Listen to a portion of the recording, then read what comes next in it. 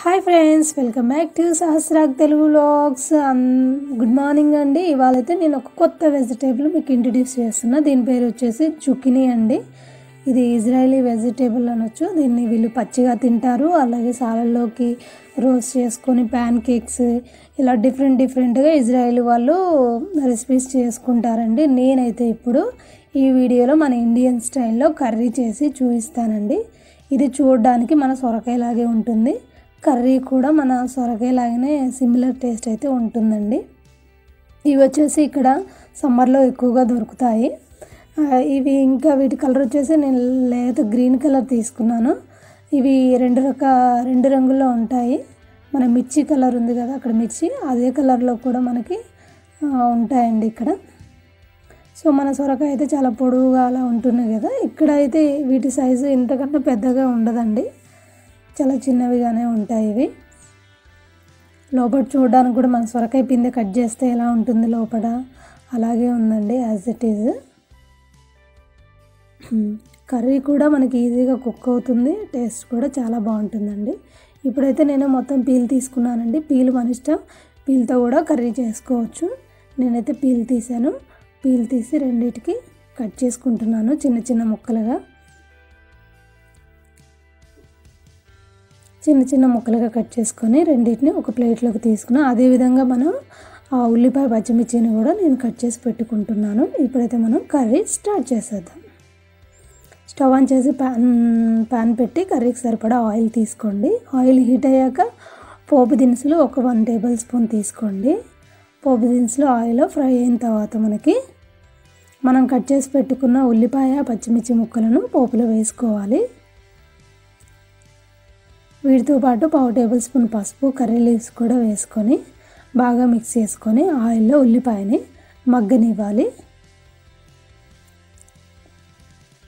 ఈ విధంగా మగ్గిన తర్వాత మనం కట్ చేసి పెట్టుకున్న జుక్నీ ముక్కల్ని వేసుకోవాలి.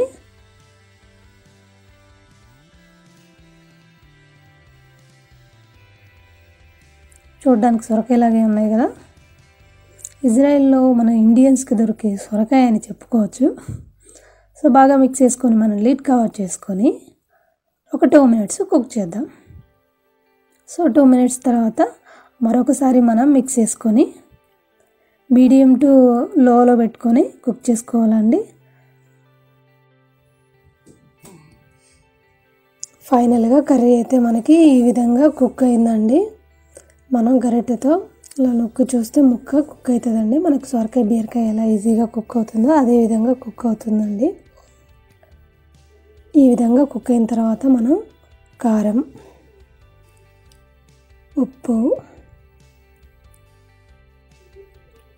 ధనియాల పొడి మీకు ఇంట్రెస్ట్ ఉంటే అల్లం వెల్లుల్లి పేస్ట్ పోపులో వేసుకోవచ్చండి. నేను వేయలేదు కాబట్టి వెల్లుల్లి పౌడరు వేసుకున్నాను. ఇవన్నీ వేసి బాగా మిక్స్ చేసుకోవాలి.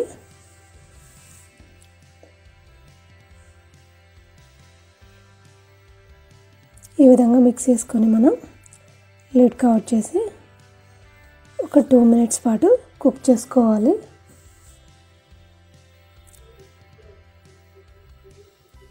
టూ మినిట్స్ తర్వాత మరొకసారి మనం కలయి పెట్టుకొని మరొక వన్ మినిట్ పాటు మనం కుక్ చేసుకోవాలి. చూసారు కదా మనకి ఎమ్మి ఎమ్మి కర్రీ రెడీ అయిపోయిందండి. ఇప్పుడు కొత్తిమీర చల్లుకొని ఒక్క వన్ వన్ మినిట్ పాటు అలా ఉంచండి స్టవ్ మీద.